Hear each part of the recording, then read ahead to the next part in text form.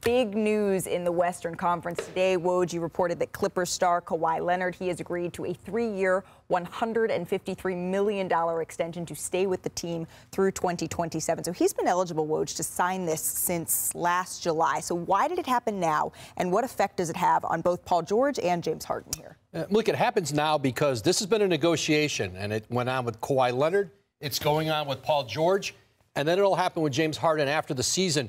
But this is a Clipper team that was facing the possibility of their three best players in free agency this summer. Now they get Kawhi Leonard locked up at a deal below the max number, which is what the Clippers wanted. With this new salary cap, the Clippers don't believe that they could put a championship supporting cast around Leonard, Paul George, Harden, unless those players are taking less money.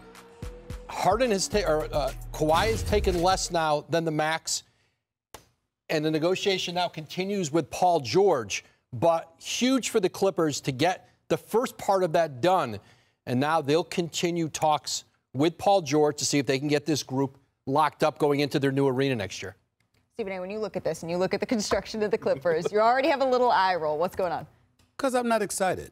It's obvious the right, obviously the right thing for the Clippers to do. There's no question about this. This is a superstar caliber player. We all know what he brings to the table when he's on the court healthy. The problem is it's always a question mark as to mm. whether or not he's going to be on the court healthy. And don't get me started at what he doesn't do to market his team, to market the sport. Okay, does nothing. Even when he's doing a commercial, the kids are talking and not him, and this is his own damn commercial. This is who he is. But we all know he's a phenomenal, phenomenal basketball player.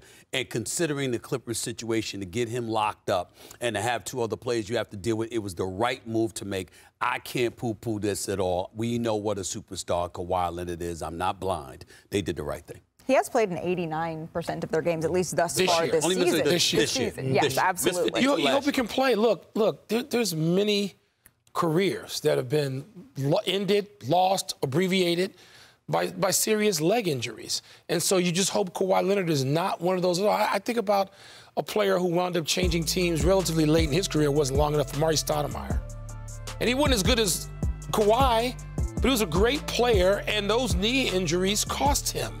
And it's very real. This is not load management we're talking about. We're talking about Kawhi, Kawhi Leonard having knee issues, even back to when he was dragging that knee around during the playoffs with Toronto. So you hope he can be healthy enough. You hope that in these subsequent years, he's playing more games now, as you mentioned, Malika.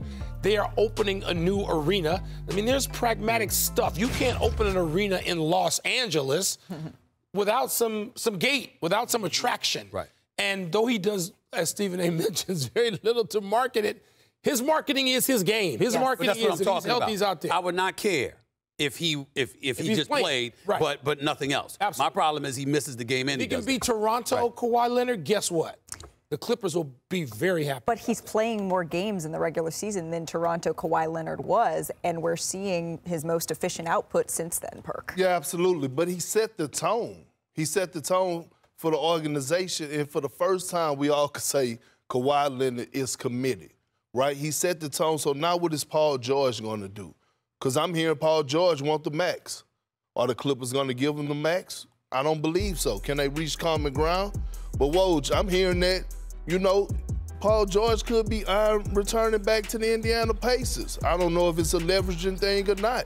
I don't know if he will, will, you know, leverage that to to get the max money, but I know that's what he wants. So, so what Kawhi is saying is, who is willing to make the sacrifice to hold this together to win the NBA title or try to win the NBA title. There are some attractive teams who Paul George fits right into in free agency. Indiana with Tyrese Halliburton, potentially. Philadelphia mm-hmm. with uh, Joel Embiid, Tyrese, Max, Tyrese Maxey. But he's going to have to take less than the max to stay in LA. Mm. Uh, Kawhi Leonard did. It is a negotiation. Yep. The negotiation will continue. But this is home for Paul George. This group, they're finally getting to see what this can look like. Harden has fit in perfectly. It is a negotiation. It's going to continue. Well, damn it. Somebody got to say it, so I'm going to say it. No Paul George. It can't be about the max right now.